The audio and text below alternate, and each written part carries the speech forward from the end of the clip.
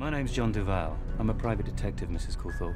Do you think the voyeuristic nature of what you do, what you see, affects your own behaviour? Your sexual fantasies?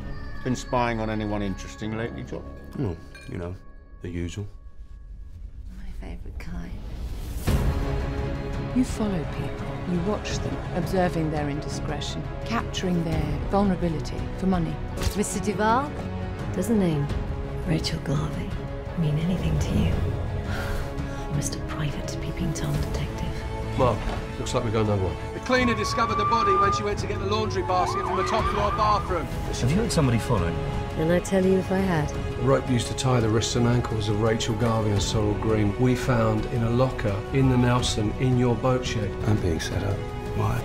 This time, you've crucified yourself.